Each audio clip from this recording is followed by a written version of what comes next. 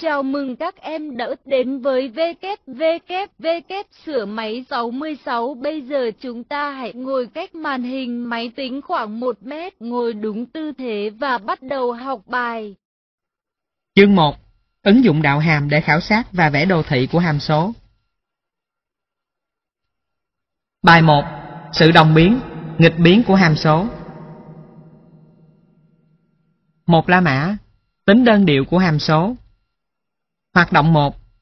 Từ đồ thị, hình 1 và hình 2, hãy chỉ ra các khoảng tăng, giảm của hàm số y bằng cos x trên đoạn trừ pi trên 2 đến 3 pi trên 2 và của hàm số y bằng trị tuyệt đối x trên khoảng âm vô cùng đến dương vô cùng. Một nhỏ, nhắc lại định nghĩa. Ký hiệu k là khoảng, hoặc đoạn, hoặc nửa khoảng. Giả sử, hàm số y bằng fx xác định trên k. Ta nói, hàm số y bằng fx đồng biến, tăng, trên k, nếu với mọi cặp x1, x2 thuộc k, mà x1 nhỏ hơn x2, thì fx1 nhỏ hơn fx2, tức là x1 nhỏ hơn x2, suy ra fx1 nhỏ hơn fx2. Hàm số y bằng fx nghịch biến, giảm, trên k nếu với mọi cặp x1, x2 thuộc k, mà x1 nhỏ hơn x2, thì fx1 lớn hơn fx2, tức là x1 nhỏ hơn x2, suy ra fx1 lớn hơn fx2. Hàm số đồng biến hoặc nghịch biến trên k được gọi chung là hàm số đơn điệu trên k. Nhận xét, từ định nghĩa trên ta thấy, nhận xét A, fx đồng biến trên k khi và chỉ khi fx2 trừ fx1 chia x2 trừ x1 lớn hơn 0 với mọi x1, x2 thuộc k, x1 khác x2. fx nghịch biến trên k khi và chỉ khi fx2 trừ fx1 chia x2 trừ x1 nhỏ hơn 0 với mọi x1, x2 thuộc k, x1 khác x2. Nhận xét B. Nếu hàm số đồng biến trên k thì đồ thị đi lên từ trái sang phải, hình 3A. Nếu hàm số nghịch biến trên k thì đồ thị đi xuống từ trái sang phải, hình 3B. Các bạn nhờ giáo viên hướng dẫn thêm. Hai nhỏ, tính đơn điệu và dấu của đạo hàm. Hoạt động 2. Xét các hàm số sau và đồ thị của chúng. A. Y bằng trừ x bình phương chia 2. Hình 4A. B. Y bằng 1 chia x. Hình 4B. Với hàm số y bằng trừ x bình phương chia 2, ta có khi x từ âm vô cùng đến 0 thì y tăng từ âm vô cùng đến 0. Khi x từ 0 đến dương vô cùng thì y giảm từ 0 đến âm vô cùng. Với hàm số y bằng 1 trên x, khi x từ âm vô cùng đến 0 thì y giảm từ 0 đến âm vô cùng. Và khi x từ 0 đến dương vô cùng, thì y giảm từ dương vô cùng đến 0. Xét dấu đạo hàm của mỗi hàm số và điền vào bảng tương ứng. Từ đó hãy nêu nhận xét về mối quan hệ giữa sự đồng biến, nghịch biến của hàm số và dấu của đạo hàm. Ta thừa nhận định lý sau đây. Định lý cho hàm số y bằng fx có đạo hàm trên k. A. Nếu f phải x lớn hơn 0 với mọi x thuộc k thì hàm số fx đồng biến trên k. B. Nếu f phải x nhỏ hơn 0 với mọi x thuộc k thì hàm số fx nghịch biến trên k. Tóm lại, trên k, f phải x lớn hơn 0 suy ra fx đồng biến, f phải x nhỏ hơn 0 suy ra fx nghịch biến. Chú ý, nếu f phải x bằng 0 với mọi x thuộc k, thì fx không đổi trên k. Ví dụ 1. Tìm các khoảng đơn điệu của hàm số. A. Y bằng 2x mũ 4 cộng 1. B. Y bằng sin x trên khoảng 0 đến 2 pi. Giải. A. Hàm số đã cho xác định với mọi x thuộc R. Ta có y phẩy bằng 8x mũ 3. Bản biến thiên. X thay đổi từ âm vô cùng đến không, y phẩy mang dấu âm. Y giảm từ dương vô cùng đến một; x thay đổi từ không đến dương vô cùng, thì y phẩy mang dấu dương. Y tăng từ một đến dương vô cùng. Vậy hàm số y bằng 2x mũ 4 cộng 1, nghịch biến trên khoảng, âm vô cùng đến không, đồng biến trên khoảng, không đến dương vô cùng. B nhỏ, xét trên khoảng 0, 2 pi, ta có y phẩy bằng cos x, bản biến thiên.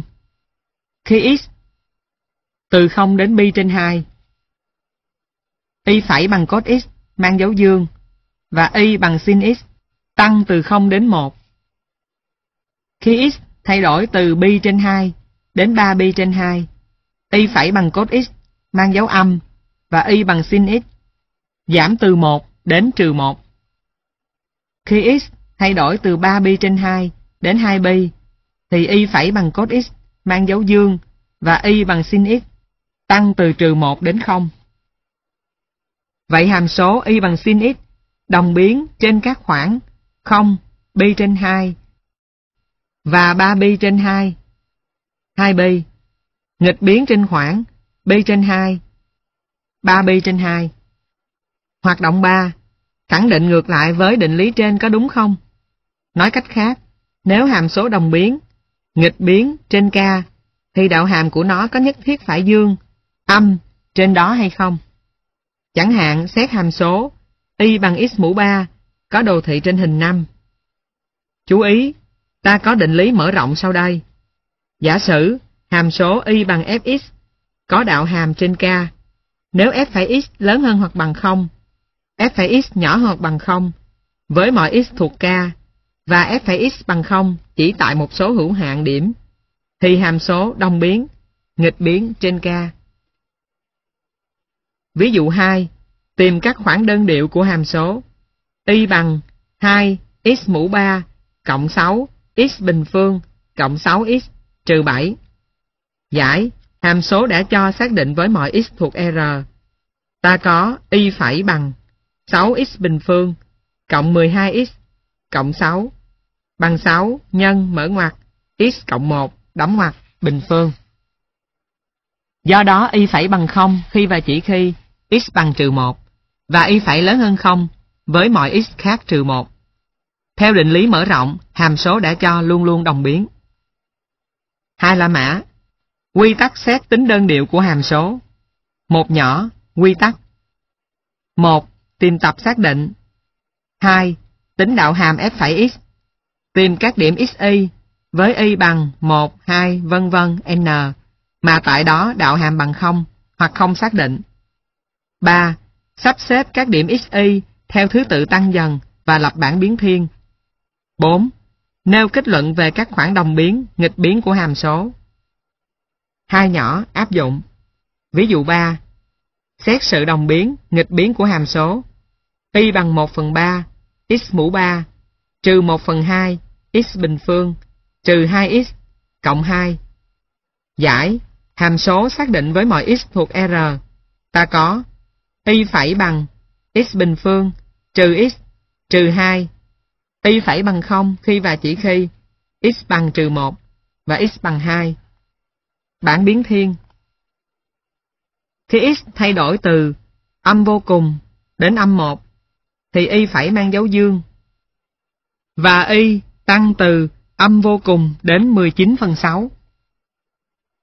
Khi x thay đổi từ trừ 1 đến 2 thì y phải mang dấu âm, và y giảm từ 19 phần 6 đến âm 4 phần 3. Khi x thay đổi từ 2 đến dương vô cùng, thì y phải mang dấu dương, và y tăng từ trừ 4 phần 3 đến dương vô cùng. Vậy hàm số đồng biến trên các khoảng âm vô cùng, âm 1 và 2 dương vô cùng, nghịch biến trên khoảng âm 1, 2. Ví dụ 4. Tìm các khoảng đơn điệu của hàm số. Y bằng tỷ số x trừ 1 chia x cộng 1. Giải, hàm số xác định với mọi x khác trừ 1. Ta có y phẩy bằng tỷ số mở ngoặc x cộng 1 đóng ngoặc trừ mở ngoặc x trừ 1 đóng ngoặc, chia, mở ngoặc, x cộng 1, đóng ngoặc, bình phương, bằng 2 chia, mở ngoặc, x cộng 1, đóng ngoặc, bình phương. Y phẩy không xác định tại x bằng trừ 1.